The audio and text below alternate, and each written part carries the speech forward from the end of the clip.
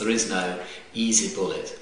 Um, my natural inclination is, I think, to focus uh, much more on the on the bottom up side, but one one, one does need to have uh, the, the, the leadership, um, the private sector contributing. Uh, the key thing for me is to begin with the information and communication needs of poor people. Now, what information do they really need to make a difference to their lives? Uh, what forms of communication do they want to achieve their aspirations? Those are the key questions we need to ask, and then design the technologies around them. Um, and, and I guess my other answer to that question is the importance of partnerships.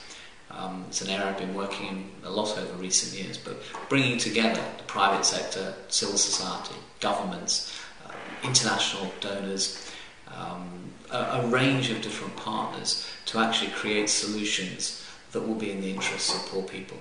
But that comes back again to, to the question I said at the beginning. It, it, it does ultimately depend if there is the will to do this.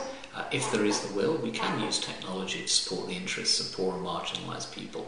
But that is something very different from introducing ICTs into poor countries so that large corporations can generate profit. Um, and, and, and, there's a midway between those.